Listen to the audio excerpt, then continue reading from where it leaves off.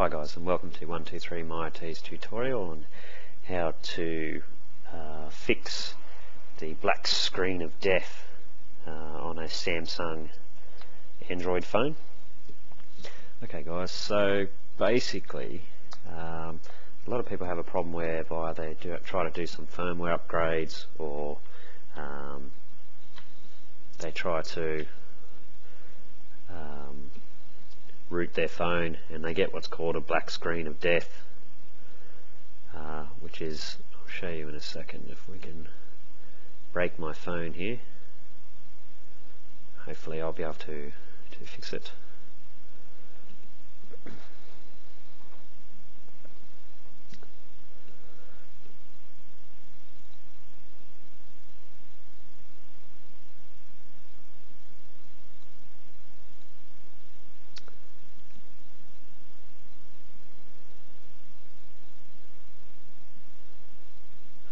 I'm just going to put the phone into into download mode. Let's see if it will get there.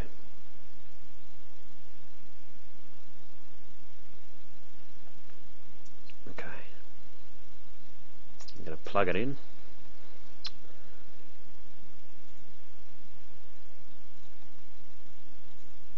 And I'm just really quickly going to break it by doing a repartition.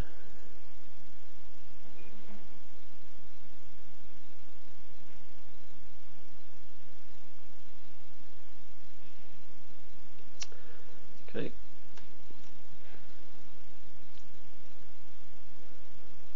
Uh, and when I break it here, we'll put it into, hopefully it will go into the uh, black screen of death, okay, which is this this um, icon here, and it's basically a little mobile phone, and then an exclamation mark, and then a PC, okay. So when you get this black screen of death, on some phones you can just hold down the, the volume down button, the home button and the power button. Uh, that down for 10 seconds and you can put it straight back into downloading mode. Okay. The other thing you can do as well, um, if this happens, is to actually power off the phone and then take the take the uh, back off the phone and take the battery out.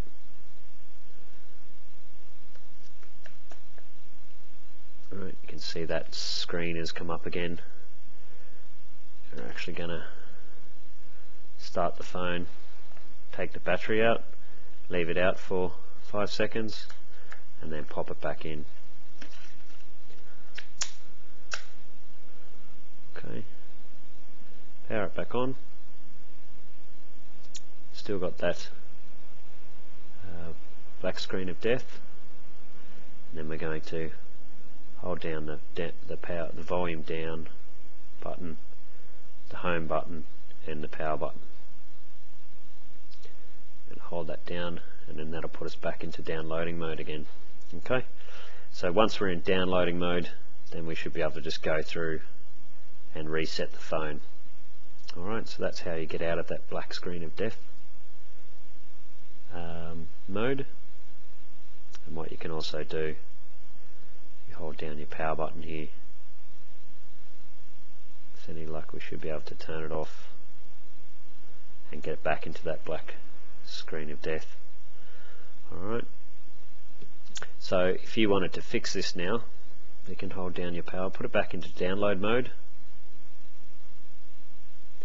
And once you've got it into download mode then you can join it back into into Odin okay like that and at this stage you can go through and reset the phone or apply your firmware all over again with Odin and I've done a separate tutorial on how you can do that alright guys so thanks, thanks for watching. Uh, if this was helpful, please leave a thumbs up.